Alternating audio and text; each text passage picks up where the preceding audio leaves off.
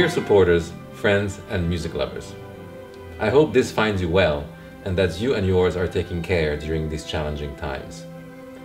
As we strive to keep ourselves and our families safe in a sea of uncertainty, music, more than ever, reminds us of our potential for achieving unity, understanding, and inspiration.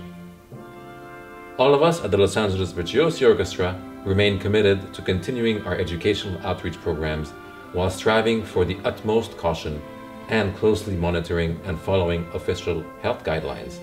And, circumstances willing, hope we can again share and partake in the healing and transformative power brought on by the pure passion of our upcoming 2021 season programs.